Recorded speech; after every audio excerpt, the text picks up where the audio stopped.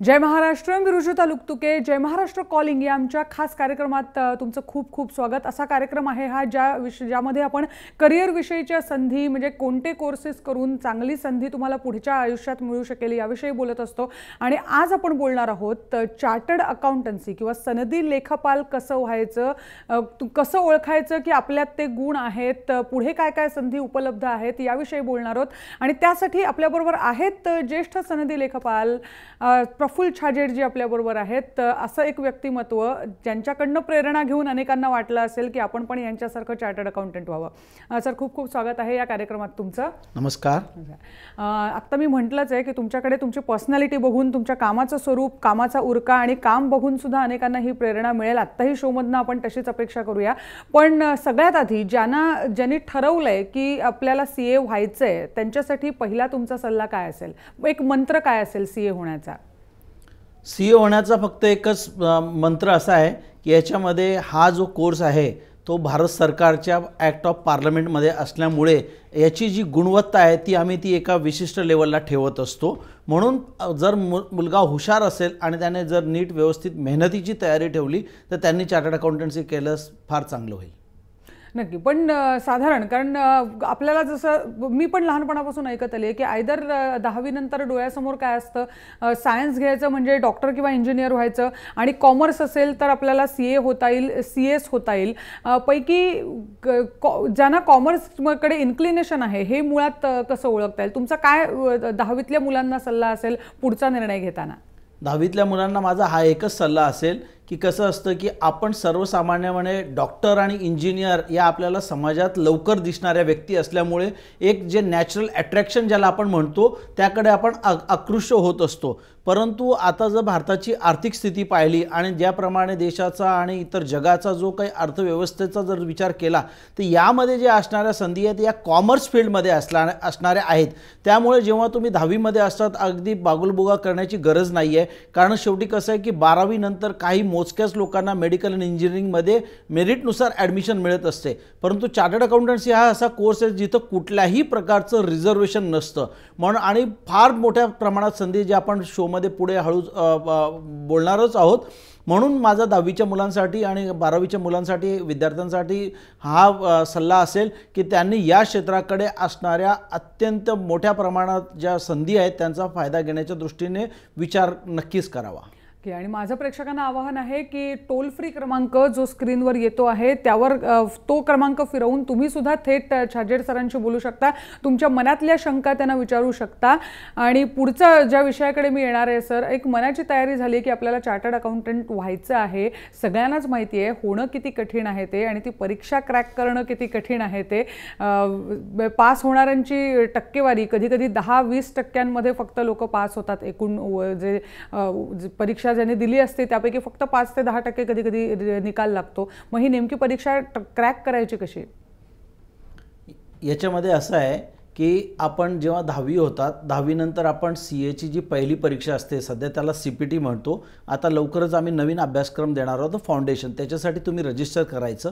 बारावीच्या परीक्षेनंतर तुम्ही ही परीक्षा पहिली जी फाउंडेशन किंवा आता सध्या असलेली कॉमन प्रोफेशनची टेस्ट सी पी टी म्हणजे ज्याला आपण म्हणू की प्राथमिक परीक्षा आहे ही परीक्षा ॲपियर करायची. जर या परीक्षेमध्ये पास झाला तर तुम्ही तुम्ही चार्टर्ड अकाउंटन्सीचा पुढचा अभ्यासक्रम करण्यासाठी तुम्ही इलिजिबल होतात. किंवा तुम्ही जर बी कॉम किंवा ग्रॅज्युएट झालात तर डायरेक्टली तुम्हाला चार्टर्ड अकाउंटन्सीचा कोर्स करता येतो. ही झाली प्रथम गोष्ट. त्याच्यानंतर कसं आहे की आता जसं सर्वांना माहिती आहे की चार्टर्ड अकाउंटंट हा एक मी सुरुवातीला बोललो की अंडर ॲक्ट ऑफ पार्लमेंट खाली असणारा कोर्स आहे. म्हणजे जेव्हा तुम्ही सी ए होतात आणि समजा तुम्ही जर प्रॅक्टिस सुरू केली तर तुम्ही ज्या काही क्लायंट लोकांच्या किंवा मोठ्या मोठ्या कंपन्यांच्या बॅलन्स शीट जेव्हा ज्याला आपण म्हणतो आर्थिक ताळेबंद हे जेव्हा आपण सर्टिफाय करत असतो त्याच्यावर संपूर्ण जग त्याच्यावर विश्वास ठेवत असते. म्हणजे अगदी टाटा बिर्ला अंबानी यांचे देखील जे व्यवहार असतात आर्थिक व्यवहार त्यांच्या बॅलन्स शीटवर किंवा त्यांच्या नफा तोटा पत्रकावर चार्टर्ड अकाउंटंटची सही असते. आणि जेव्हा ही सही असते त्याच्यानंतरच सर्व बँका त्यांना कर्ज देण्यासाठी किंवा इतरही गोष्टींसाठी किंवा गुंतवणूकदार गुंतवणूक करण्याच्या दृष्टीने या या ताळेबंदांकडे बघत असतात. म्हणून या कोर्समध्ये काय आहे ना की जी सुरुवातीला मी जसं बोललो की जी काही क्वालिटी आहे ती फार महत्त्वाची असते. जस्ट आपण अभ्यास केला आणि परीक्षा दिली आणि पास झालो आणि उद्यापासून जर आपण जर सर्टिफिकेट द्यायला सुरुवात केली कोणत्याही आर्थिक व्यवहार तर मोठ्या प्रमाणावर त्याच्याने नुकसान होऊ शकते. म्हणून आम्ही जी काही गुणवत्ताला एक विशिष्ट किमान गुणवत्ता असणं गरजेचं आहे तो विचार करून हा संपूर्ण कोर्स आम्ही स्ट्रक्चर केलेला आहे. खरं. आता पहिला प्रश्न आपल्याला आलेला आहे हेमा शर्मा आणि अर्जुन राऊत दोघेही आपल्याशी संपर्कात आहेत. सुरुवातीला मी हेमा शर्मा यांच्याकडे जाते. हेमाजी तुमचं स्वागत आहे या कार्यक्रमात. तुमचा प्रश्न तुम्ही विचारू शकता. हेलो. हां बोला हेमाजी. हाँ जी नमस्ते जी. नमस्ते. जी जी सर मुझे पूछना था कि जैसे मतलब सीए करने के लिए वो बच्चा ए लेवल करा हुआ है सीआई बोर्ड से पढ़ा हुआ है और उसने टेंथ में, टेंथ तक मैथ्स लिया, ट्वेल्थ में मैथ्स नहीं लिया उसने। और तो वो साथ में रेगुलर लॉ कॉलेज कर सकता है क्या? आप क्या सजेशन देंगे? सीए और लॉ साथ में करना चाहता है वो। सजेशन ऐसा है कि सीए का जब आप कोर्स करते हो, उसके साथ में एक कोर्स करने की आपको इजाज़त होती है। आप मान लीजिए लॉ कर लीजिए या बीकॉम कर लीजिए लेकिन चार्टर्ड अकाउंटन्सी कोर्स के साथ में आपको खाली एक वक्त पर एक ही कोर्स करते आएगा। म्हणून माझा विद्यार्थ्यांना सल्ला असेल त्यांनी काळजीपूर्वक प्रमाणे अभी जैसा मैडम आपका सवाल है कि लॉ लॉ और चार्टर्ड अकाउंटेंसी कॉम्बिनेशन बहुत बढ़िया कॉम्बिनेशन है लेकिन कभी कभी एक बच्चे के एंगल से अगर हम बात करें अगर उसको कहीं पे मान लीजिए फॉरेन जाना ये जाना है तो कभी कभी वो कॉलेज का वो जो टेन्योर होता है कि कितने साल बच्चा कॉलेज तक पढ़ा है जैसे ten plus two plus three उतना वो ग्रेजुएशन का भी वो देखते हैं तो इसके लिए बहुत सारे बच्चे जो है वो ग्रेजुएशन करते हैं और साथ में सीए करते हैं। बिलकुल त्यामुळे थोडक्यात तो त्यांचा मुलगा जसा विचार करतोय तसा त्यांना हरकत नाही. नीट अभ्यास करा नीट माहिती करून घ्या आणि त्यानुसार पुढे जा. अर्जुन राऊत अ, साताऱ्याहून त्यांनी आपल्याला फ़ोन केलाय. अर्जुन काय आहे तुमचा प्रश्न? नमस्कार सर. नमस्कार. सर आता दहावीचे आता रिझल्ट लागतीलच. Hello sir. बोला बोला ऐकतोय आम्ही. सर आता दहावीचे रिझल्ट लागतील. तर त्याच्यानंतर मुलांचं असं होतं की कॉमर्स जाऊ सायन्स जाऊ का आर्ट्स जाऊ. जसं की जर कॉमर्स जाऊ एम कॉम केलं किंवा बी कॉम जरी केलं तरी मग त्याचा फक्त त्याचा मर्यादा फक्त ती बँकिंग क्षेत्रासाठीच लिमिटेड राहते किंवा फार फार तर सीए पर्यंत मग त्यांना जर स्पर्धा परीक्षेसाठी जाण्यासाठी किंवा मग दुसऱ्या कुठल्या फील्डसाठी काय करता येईल त्या संदर्भात थोडं तुमचं गाईड हवं गायडन्स हवा होता. याच्यामध्ये गायडन्स थोडक्यामध्ये असं आहे की सी ए हा असा एक कोर्स आहे की जो अनेक ठिकाणी बँकिंग सोडा प्रत्येक ठिकाणी जी कोणती मोठी कंपनी तुम्ही बघत असाल बँक बघत असाल म्युच्युअल फंड बघत असाल त्या सर्व ठिकाणी सी एनना अपॉर्च्युनिटीज आहे. ही झाली पहिली गोष्ट. आणि अनेक चार्टर्ड अकाउंटंट आहेत ते त्याच्यानंतर सी ए केल्यानंतर ते आय एस झालेले आहेत आय पी एस झालेले आहेत. म्हणजे असं नाही आहे की तुम्ही सी ए केला तर तुम्ही स्पर्धा परीक्षेत देऊ नाही शकत. अनेक इन्कम टॅक्सचे जे मोठे मोठे कमिशनर आहेत ते सुद्धा देखील चार्टर्ड अकाउंटंट्स आहे म्हणजे चार्टर्ड अकाउंटंट्स हा असा वाणिज्य भागातला एक असा कोर्स आहे जो तुम्हाला परिपूर्ण बनवत असतो. म्हणून तुम्हाला इव्हन मुलांना कधी आय एसही करायचं असेल तर पुष्कळ चार्टर्ड अकाउंटंट आहे जे स्वतः आय एस पण आहेत. बरोबर. सर थोडक्यात म्हणजे मग ह्यांच्याच प्रश्नाला पुढे प- तोच एक धागा पकडून मला विचारायचं आहे काय काय संधी वेगवेगळ्या प्रकारच्या सी ए झाल्यानंतर किंवा सी ए होता होता आपल्यासमोर उपलब्ध आहेत? सर्वात महत्त्वाची सी ए हा जो कोर्स आहे ना आपण अनेक वेळा मी तेच सांगतोय. कॉमर्स फील्ड म्हणजे अर्थ जिथं आला तिथं चार्टर्ड अकाउंटंटला फार मोठ्या प्रमाणात महत्त्व आहे. मग ह्या कोर्सेस प्रत्येक कंपनी जी चालते त्याच्यामागे आर्थिक गोष्ट असणं फार गरजेचं आहे. तिथं चार्टर्ड अकाउंटंटला संधी असते. कोणतीही बँक बघा बँक कशावर चालते तर ते अर्थावर चालते. तिथं परत चार्टर्ड अकाउंटंटला संधी आहे. सी ए झाल्यानंतर तुम्हाला दोन प्रकारचे करिअर ऑप्शन मोठ्या म्हणजे जनरली असतात. एक स्वतःची प्रॅक्टिस तुम्ही सुरू करू शकतात. मग तुम्ही अगदी छोट्या शहरात जरी असलात तरी ॲज अ चार्टर्ड अकाउंटंट तुम्ही स्वतःची सनद घेऊन तुम्ही प्रॅक्टिस सुरू करू शकतात. किंवा मोठ्या मोठ्या कॉर्पोरेट्समध्ये किंवा बँकांमध्ये ॲज अ चार्टर्ड अकाउंटंट ज्या नवीन प्रकारच्या संधी ज्या मिळत असतात तिथे देखील तुम्ही अप्लाय करू शकता. म्हणजे मी तुम्हाला अगदी थोडक्यात जर सांगायचं असेल चार्टर्ड अकाउंटंट लोकांना आज कोट्यावधी रुपयांचा पगार मिळत आहे असे अनेक चार्टर्ड अकाउंटंट म्हणजे शंभरांनी चार्टर्ड अकाउंटंट आहे ज्यांचा जो काही वार्षिक पगार असेल तो काही कोटी रुपयांमध्ये आहे. म्हणजे चार्टर्ड अकाउंटंट हा जो एक जरी सुरुवातीला थोडा कठीण वाटणारा कोर्स असला तरी जर नीट व्यवस्थित जर सिरियसली केला तर या या क्षेत्रामध्ये फार मोठ्या प्रमाणात संधी आहेत. बरोबर. आणि नेमकं सी ए होऊन आपल्याला काय करायचं एवढी एवढा पगार आपल्याला का का दिला जातो? काय जबाबदाऱ्या आपल्याला त्यासाठी पार पाडायच्या असतात? हेही आपण जाणून घेणार आहोत. त्यापूर्वी तानाजी सावंत उस्मानाबादहून त्यांनी आपल्याला फोन केलाय. तानाजी तुमचा प्रश्न काय आहे? हॅलो? हां हां बोला. तानाजी तुमच्या टीव्हीचा आवाज बंद करा आणि मग सलग प्रश्न विचारा. आम्हाला ऐकू येते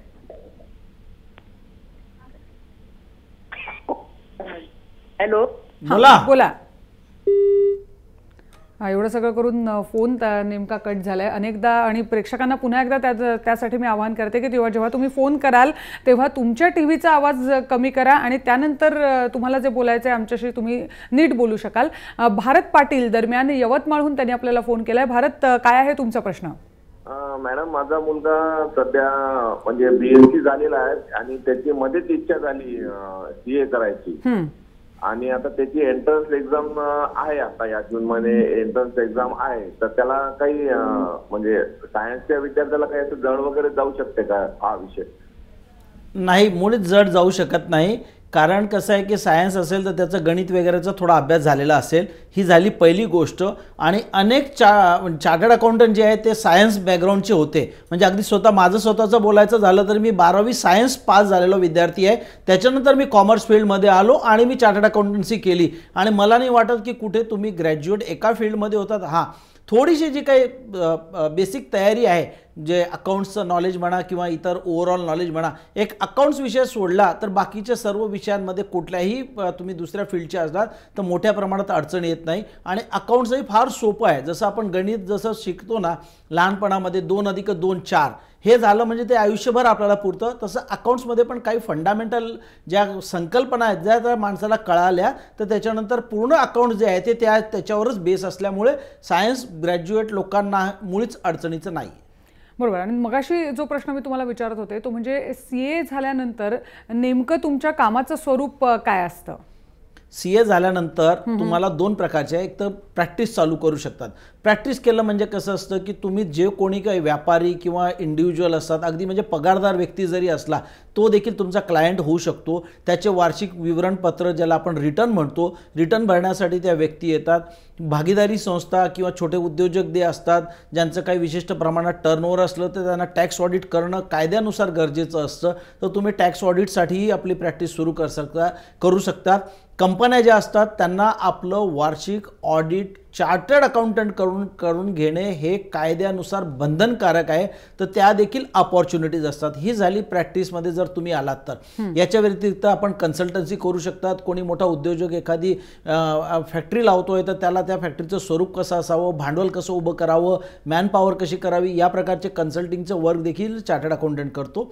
याच्यानंतर जर दुसरी बाजू घेतली की ज्या दुसऱ्या अपॉर्च्युनिटीज आहेत ज्या मोठ्या प्रमाणात आहे ज्या कंपन्यांमध्ये कॉर्पोरेट्समध्ये किंवा बँकांमध्ये किंवा अगदी मोठ्या मोठ्या फॉरेन कंपनीजमध्ये याला चार्टर्ड अकाउंटंटचा हा जो कोर्स आहे ना हा एवढ्या मोठ्या प्रमाणात आहे. म्हणजे अगदी तुम्ही आज मी स्व- छोटंसं उदाहरण दिलं. दुबईच्या भागामध्ये यू एमध्ये जवळजवळ सहा ते सात हजार इंडियन चार्टर्ड अकाउंटंट तिथं नोकरी करतात किंवा काही कंपन्यांशी असोसिएटेड आहेत.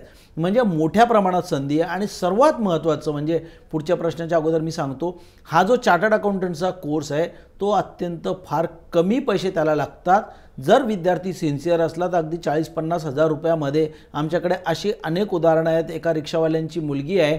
ती मुलगी एवढी हुशार होती की ती ऑल इंडिया फर्स्ट रँक आली तिची. म्हणजे असं नाही की हा पैसेवाल्यांचा कोर्स आहे अगदी फक्त चाळीस पन्नास हजार रुपये. आणि ते देखील जेव्हा तुम्ही आर्टिकलशिप करतात एका चार्टर्ड अकाउंटंटच्या हाताखाली काम करतात तर तुम्हाला दर महिना स्टॅपेंड मिळतो. म्हणजे अगदी शून्य पैशात करू शकणारा हा कोर्स आहे. बरोबर. हे हे सगळ्यात खूप महत्त्वाची बा माहिती आहे. कारण आपल्याला माहिती आहे डॉक्टर इंजिनियर व्हायला अलीकडे लाखांच्या घरात खर्च जातो हा सगळा. आणि मग त्यास तुम्हाला सी एचा पर्याय नक्कीच जवळचा वाटू शकतो. राहुल पाटील जळगावहून त्यांनी फोन केला आहे राहुल काय आहे तुमचा प्रश्न? हॅलो. बोला. राहुल. अं, मॅडम सीए ची तयारी करण्यासाठी? राहुल तुमचा प्रश्न सलग विचारा. नमस्कार मॅडम. हां हां. जळगाव जिल्ह्यातून बोलतोय. बरोबर. कॉमर्स साईज जर म्हटली आज कॉमर्स क्षेत्रात जायचं सांगण्यासाठी कॉमर्ससाठी जाण्यासाठी आपल्याला तो सिलेबस कठीण असतो. तर तो सिलेबस सोपा करण्यासाठी आणि ते कशा पद्धतीने तयारी करायला पाहिजे की जेणेकरून सीए साठी आपण लवकरात लवकर सक्सेस होऊ? सी एची तयारी करण्यासाठी मी तुम्हाला अगदी सोपा मंत्र सांगतो. जसं जी सुरुवातीला फाउंडेशन परीक्षा आहे ही फक्त चार पेपरची असते. आजच्या तारखेला त्याचं ए आय ज्याला ऑब्जेक्टिव्ह टाईप क्वेश्चन म्हणतो म्हणजे उत्तर लिहायची गरज नाही आहे फक्त तुम्ही चार तीन ऑप्शनमधला जो कोणता पर्याय असेल तो निवडावा. ही झाली फाउंडेशन किंवा पहिली एक्झामिनेशन याच्यानंतर असते ती इंटरमिजिएट एक्झामिनेशन आपण सोप्या भाषेत म्हणू ज्याला आता सध्या आम्ही आय पी सी सी म्हणतो. त्याच्यामध्ये जे सात पेपर आहेत त्याला दोन ग्रुप असतात. ग्रुप नंबर पहिला आणि ग्रुप नंबर दुसरा. विद्यार्थ्याची जर आपली तयारी नसेल तर तो ग्रुप वाईज देखील परीक्षा देऊ शकतो. असं नाही आहे की तुम्हाला दोन्हीच्या दोन्ही ग्रुप एकत्र दिले दिलेच पाहिजे असा नियम आहे. म्हणजे अगदी तुमची चार पेपरची तयारी आहे चार पेपर द्या आणि सी एचं एक वैशिष्ट्य दर सहा महिन्याने परीक्षा होते. आणि मागच्या पन्नास साठ वर्षामध्ये यांच्या तारखा देखील फिक्स आहे. दोन मेला परीक्षा चालू होते आणि तिकडे एक नोव्हेंबरला परीक्षा असते. दिवाळी वगैरे असली तर एखाद दिवस मागे पुढे होतं फक्त. परंतु अदरवाईज दोन मे आणि एक नोव्हेंबर या सी एच्या तारखा देखील फिक्स आहेत आणि म्हणून विद्यार्थ्यांना त्यांच्या सोयीनुसार ग्रुप वाईज देखील परीक्षा देता येते. आणखी दोन प्रेक्षक श्रीकांत मेरगे आणि विवेक प्रधान आपल्याबरोबर संपर्कात आहेत. पण मी त्यांना विनं विनंती करते तुम्ही असेच थांबा. एक छोटासा ब्रेक घेऊन लगेच परत येतोय. पाहत रहा भाषा you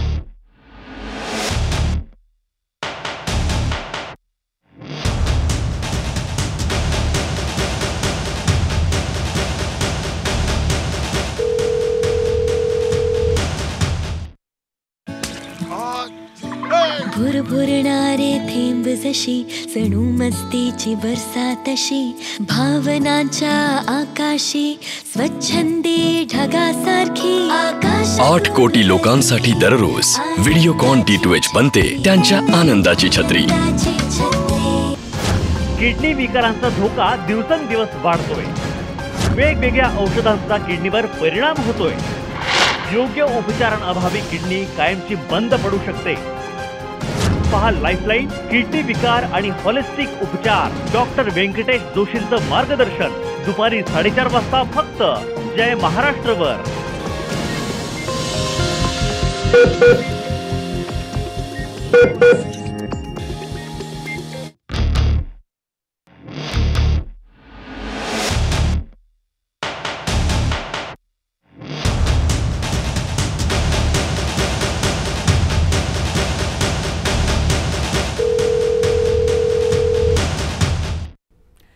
जय महाराष्ट्र कॉलिंग या आमच्या कार्यक्रमात पुन्हा एकदा तुमचं स्वागत. आणि ब्रेकवर जाण्यापूर्वी आपल्याबरोबर विवेक प्रधान वर्ध्याहून आपल्या संपर्कात होते. विवेक जी तुमचा प्रश्न विचारू शकता? हॅलो मॅडम बोला. हॅलो मॅडम बारावी अकरावी बारावी कॉमर्समध्ये झालाय आणि ग्रॅज्युएशन कॉमर्समध्ये सुरू आहे. तर मी त्यातून सीपीटी देऊ शकतो का? सर तुम्हाला सांगतील प्रश्न जोरात थोडं बोला ऐकायला कमी आला. सीपीटी स्टडी मटेरियल वगैरे कुठून घ्यायचं आणि एंट्री बद्दल एंट्री आणि रजिस्ट्रेशन कुठे करायचं? सी एची जी पहिली परीक्षा आहे सी पी टी ज्याला तुम्ही म्हणतात त्याचं ऑनलाईन रजिस्ट्रेशन आपण करू शकतात. त्याचं जे I C I dot O R जीवर संपूर्ण प्रकारे माहिती आहे. आणि विद्यार्थी जेव्हा रजिस्टर करतो तेव्हा सी ए इन्स्टिट्यूटतर्फे त्यांना अगदी घरपोच सगळं जे काही अभ्यासाचं मटेरियल असतं ते फ्री ऑफ चार्ज आम्ही पाठवत असतो. तिथून तुम्ही अभ्यास करू शकता. बरोबर. आणि ते ग्रॅज्युएशन करतायत आणि ग्रॅज्युएशन करताना त्यांना सी ए बा बारावीची परीक्षा दिल्यानंतर कोणताही माणूस अगदी त्याच्या सोयीनुसार केव्हाही सी पी टीची परीक्षा देऊ शकतो. अगदी पहिल्या वर्षाचा दुसऱ्या वर्षाचा किंवा तिसऱ्या वर्षामध्ये जरी विद्यार्थी ग्रॅज्युएशन करत असला तरी सी पी टीची परीक्षा आपल्या सोयीनुसार वर्षातून दोन वेळा होते जूनमध्ये आणि डिसेंबरमध्ये. तुम्हाला जेव्हा योग्य वाटते तेव्हा तुम्ही त्या द्या. रजिस्ट्रेशन करा आणि अगदी सहा सात आठ हजार रुपयामध्ये रजिस्ट्रेशन देखील होतं. फार कमी खर्चामध्ये होतं आणि तुम्ही परीक्षा तुमच्या सोयीनुसार देऊ शकता. बरोबर. सर आपल्याला सगळ्यांना माहिती आहे की सी ए इन्स्टिट्यूटचे सुद्धाच्या चे सुद्धा अध्यक्ष आहेत छाजेड सर आणि म्हणून तुम्हाला खास करून विचारायचं आहे की या इन्स्टिट्यूटचं काम कसं चालतं आणि परीक्षा घेण्याच्या दृष्टीने कशी तयारी सुरू असते? सी ए इन्स्टिट्यूटबद्दल मी सांगतो ही जी भारतीय सनदी लेखापाल संस्था आहे ही एकोणीसशे एकोणपन्नास साली आपल्या सर्वांना माहिती आहे भारताचा प्रजासत्ताक दिन हा सव्वीस जानेवारी एकोणीसशे पन्नास आहे. आणि C A institute under act of parliament एक जुलै एकोणीसशे एकोणपन्नास. म्हणजे अगदी जेव्हा भारत प्रजासत्ताक नव्हतं त्याच्या अगोदर संसदेला वाटलं की या देशामध्ये एका महत्त्वपूर्ण प्रोफेशनलची गरज आहे म्हणून हा सी ए ॲक्ट आला. आज आमच्या भारतामध्ये आणि सी ए एकच संस्था अशी आहे की जी ह्या प्रकारचे चार्टर्ड अकाउंटंटची परीक्षा घेऊ शकते आणि त्याची जी सनद असते ते देऊ शकते. भारतामध्ये दुसरी कुठलीही संस्था अशा प्रकारचं पॅरल करू शकत नाही. जसं तुम्ही बघाल एम बी ए प्रत्येक युनिव्हर्सिटी आपलं एम बी ए कोर्स चालू शकतं. मेडिकल कॉलेज प्रत्येक मेडिकल कॉलेज आपल्या एका युनिव्हर्सिटीला ॲफिलिएटेड असतं. चार्टर्ड अकाउंटंट फक्त भारतामध्ये एकच संस्था आहे. ज्याचं केंद्रीय ऑफिस हे नवी दिल्ली येथे आहे.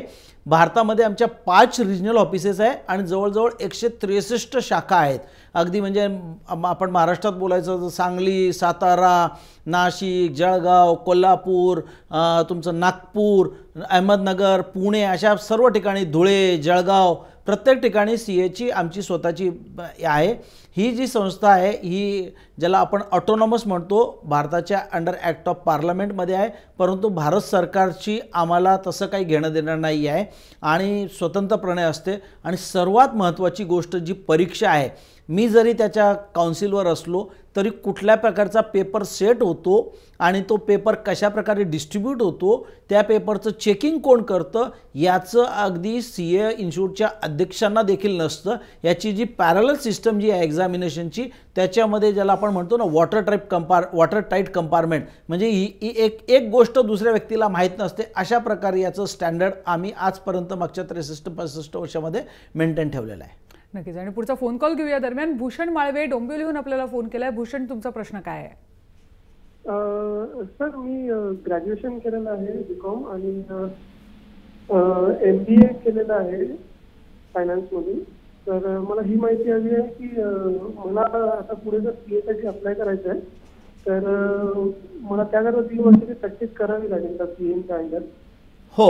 सी ए असा कोर्स आहे की जेव्हा तुम्ही जी इंटरमिजिएट किंवा आय पी सी सी परीक्षा आपण ज्याला म्हणतो त्याच्यामध्ये पहिला ग्रुप जर पास झाला त्याच्यानंतर तीन वर्ष चार्टर्ड अकाउंटंटच्या ऑफिसमध्ये तुम्हाला ज्याला आपण आर्टिकलशिप म्हणतो म्हणजे एका प्रकारचं आम्ही ट्रेनिंग देत असतो.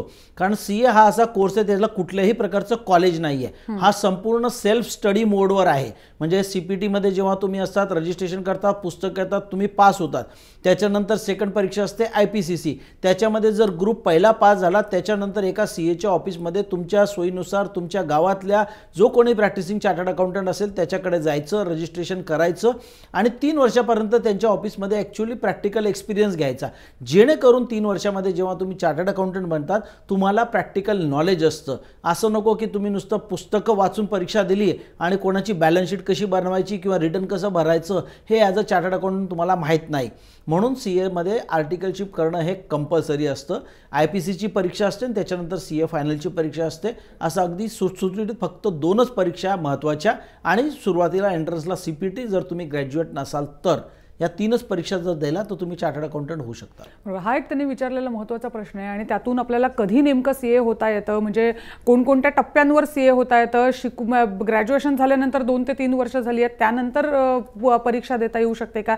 हे एक मला सरांना विचारायचं आहे पण आधी सुधाकर पाटील यांचा फोन आलाय तो घेऊया. सुधाकरजी काय आहे तुमचा प्रश्न? हा नमस्कार सर. नमस्कार. सर भविष्यामध्ये करिअर म्हणून याच्याकडे कसं पाहता येईल किंवा? विद्यार्थ्यांसाठी करिअरच्या संधी यासाठी असणारा महत्त्व आणि प्राथमिक तयारी याविषयी मला थोडंसं माहिती पाहिजे.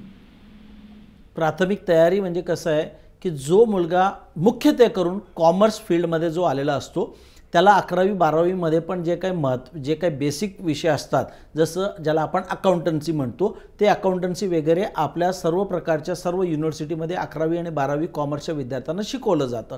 म्हणून जी पहिली परीक्षा असते सी पी टी जी तुम्ही बारावीची परीक्षा दिल्यानंतर करू शकतात त्याच्यामध्ये बराचसा जो पोर्शन आहे त्याच्यामध्ये जे लेवल ऑफ नॉलेज एक्सपेक्टेड आहे मुलांकडनं ते एक जनरल छोटंसं नॉलेज आहे. असं तिथं एक्सपर्ट नॉलेज एक्सपे एक्सपेक्टेड नाही आहे तर द स्टुडंट म्हणजे ज्या जो विद्यार्थी असतो त्याच्याकडनं बेसिक नॉलेज जे आपण म्हणतो अकरावी बारावीचं जर विद्यार्थ्याने नीट अभ्यास केलेला असला तर सी पी टी चांगल्या प्रमाणात तो पास होऊ शकतो. सी पी टी परीक्षा ही दोनशे मार्काची असते. शंभर मार्काच्या वरती जर तुम्हाला मार्क मिळाले तर तुम्ही सी पी टी उत्तीर्ण होतात. बरोबर. आता ज जसं मी मगाशी म्हटलं होतं सर सी ए परीक्षा द्यायचे क्रायटेरिया नेमके काय आहेत आणि कधी कधी आपण ही परीक्षा देऊ शकतो? म्हणजे आत्ता जर माझ्या मनात आलं तर मी देऊ शकते का?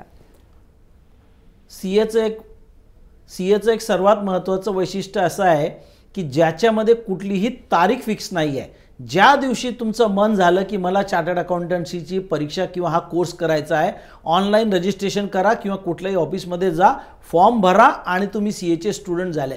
इथे कुठल्याही प्रकारचं रिझर्वेशन नाही आहे. ही झाली पहिली गोष्ट. सी पी टी मी जसं सुरुवातीला बोललो वर्षातून दोन वेळा बारावीनंतर ग्रॅज्युएशनपर्यंत तुम्हाला केव्हाही देता येते त्याच्यामध्ये तुम्हाला मे जून आणि डिसेंबरमध्ये परीक्षा असते ऑब्जेक्टिव्ह टाईप परीक्षा असते दोनशेपैकी शंभर मार्क तुमच्याकडनं एक्सपेक्टेड असतात. जर तुम्ही ग्रॅज्युएट झालात कॉमर्स ग्रॅज्युएट असलात पंचावन्न टक्क्याच्या वरती जर तुमचे मार्क असले तर ही काही सी पी टी परीक्षा ती देखील तुम्हाला देणं बंधनकारक नाही आहे त्याच्यानंतर जी पुढची लेवल आहे ज्याला आपण आय पी सी सी म्हणतो किंवा सोप्या भाषेत त्याला आपण इंटरमिजिएट परीक्षा म्हणू. इंटरमिजिएट परीक्षेसाठी तुम्हाला रजिस्ट्रेशन करावं लागतं. रजिस्ट्रेशनमध्ये आय आय पी सी सीमध्ये दोन ग्रुप असतात. ग्रुप पहिला आणि ग्रुप दुसरा. ग्रुप पहिला पास झाल्यानंतर तुम्हाला सी एच्या हाताखाली तीन वर्षापर्यंतचं ज्याला आपण ट्रेनिंग म्हणतो ते ट्रेनिंग घेता येतं. हे ट्रेनिंग घेता घेता तुम्ही जो दुसरा ग्रुप उरलेला जर असेल तुमचा आय पी सी सीचा तो देऊ शकतात. आणि शेवटच्या सहा महिन्यामध्ये ॲझ्युम की तुम्ही सर्व परीक्षा वेळेवर पास झालात इंटरमिजिएटच्या तर त्याच्यानंतर दीड वर्षामध्ये म्हणजे सी एचे अगदी तुमचं तीन वर्षाचं ट्रेनिंग होण्याच्या अगोदर देखील तुम्ही चार्टर्ड अकाउंटंट बनू शकतात. म्हणजे सी एमध्ये अत्यंत सोपं आहे. इंटरमिजिएट आणि C A final C A फायनलमध्ये पण आठच पेपर्स असतात. दोन ग्रुप असतात. तुम्ही ते झालं का तुम्ही चार्टर्ड अकाउंटंट झालात? नक्कीच. सर खूप खूप धन्यवाद. आज तुम्ही कार्यक्रमात सहभागी झालात आणि माझ्या आणि प्रेक्षकांच्या प्रश्नांना उत्तरं दिलीत याबद्दल. आज इथेच थांबतोय जय महाराष्ट्र. कॉलिंगमध्ये तुम्ही पाहत राहा जय महाराष्ट्र.